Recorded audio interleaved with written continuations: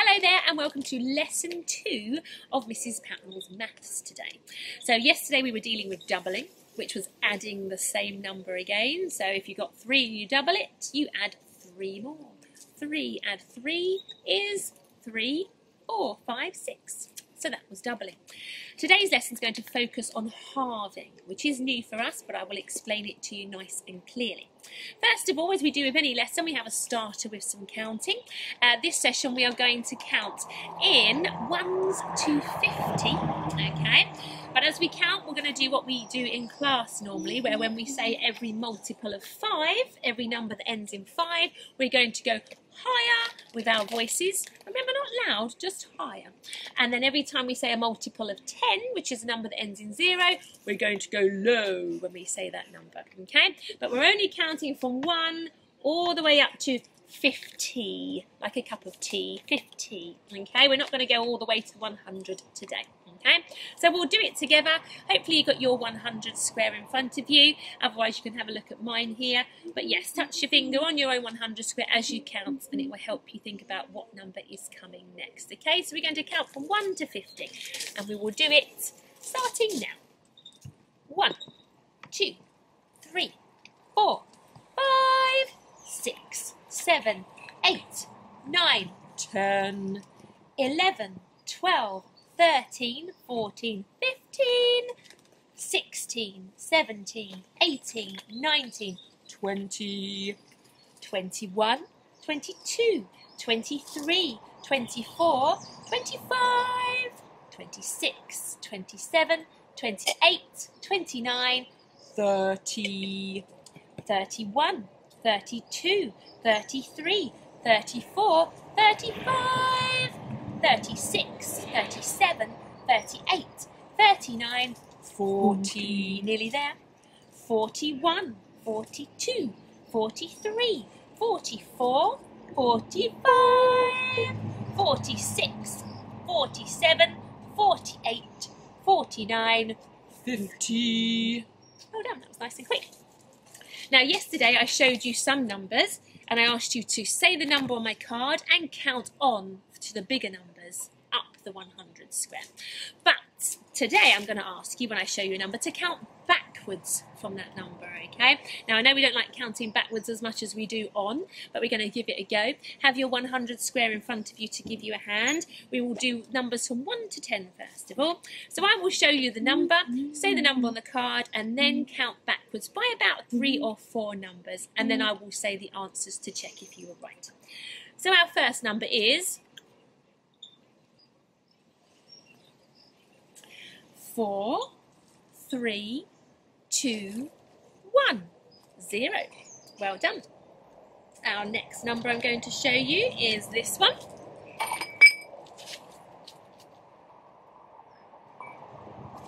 Eight, seven, six, five. Well done. And let's go with this one.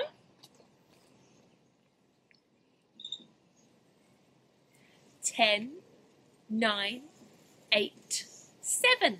Fantastic. Let's just try a couple more tricky ones that are 11 to 20. Do your best with this. You may need the 100 square to give you a hand. So I'm going to show you this number first.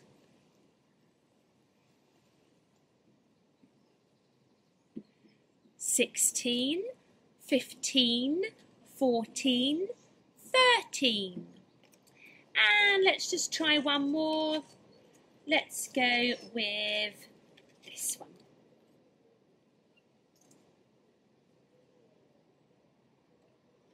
Thirteen, twelve, eleven, ten, nine. Fantastic. So that's a bit of counting back.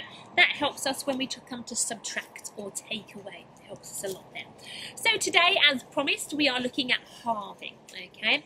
Now, halving is basically like sharing equally into two groups. So whatever number you start off with at the beginning, you have to share them equally between two groups, and half of that number you started off with will be what's on one half of my plates here, let's say, okay?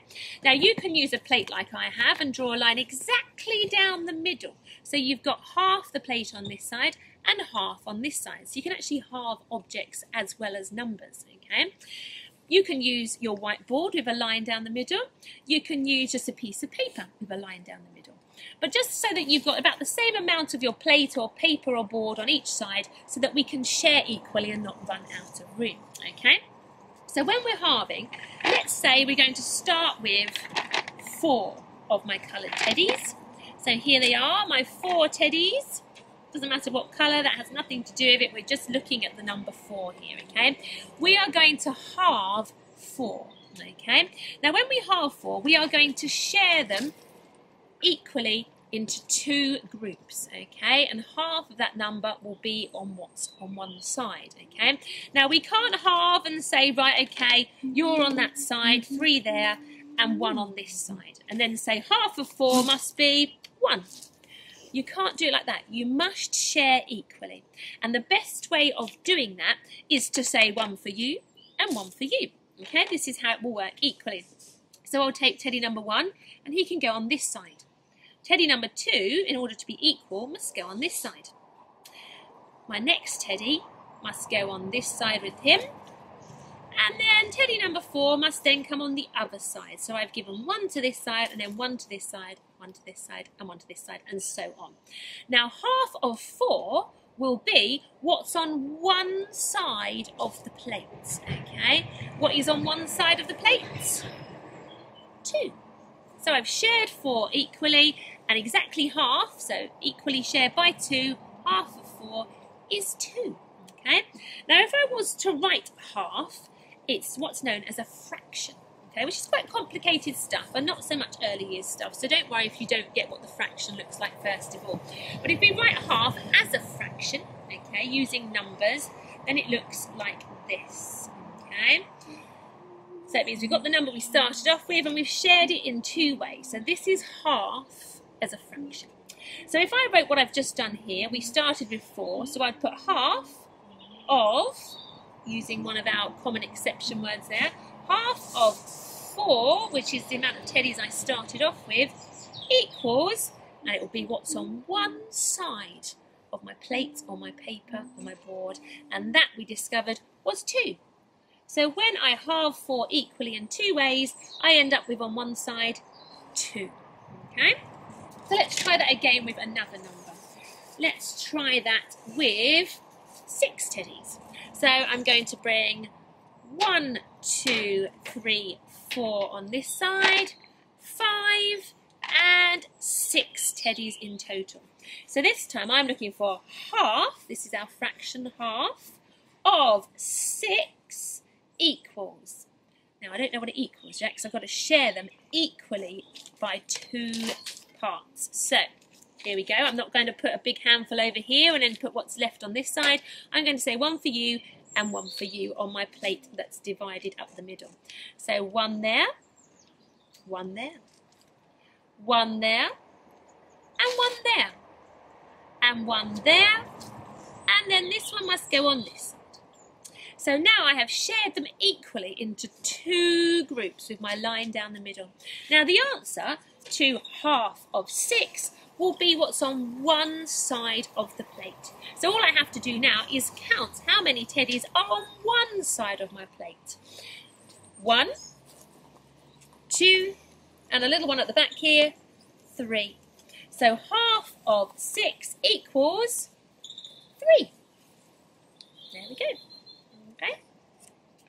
I'm going to do one more with you, and then I'm going to set you a few to do yourself.